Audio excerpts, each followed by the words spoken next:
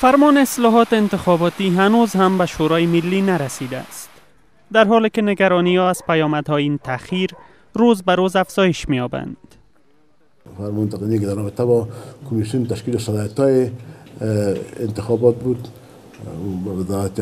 وزارت امور پارلمانی طرف وزارت عدلیه فرستاده شده انتقادها از عملکرد حکومت در این راستا نیز از هر زمان بیشتر شدهاند.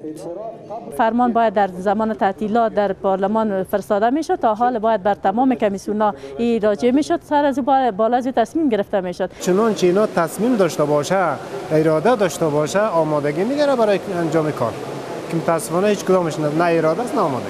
هرچند حکومت بر برگزاری انتخابات پارلمانی در زمان تعیین شده آن تاکید می‌ورزد.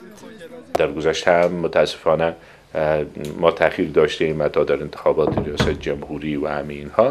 و اینا مسائلی است که ما متناسب به شرایط افغانستان کوشش های خود می‌کنیم که او کارا به موقع صورت بگیره.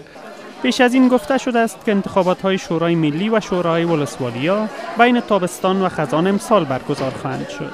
اما نهادهای ناظر بر انتخابات بدین باورند که چالش های فرارای این روند بیشتر از آن هستند که بشود تا پایان تابستان آنها را از میان برداشت.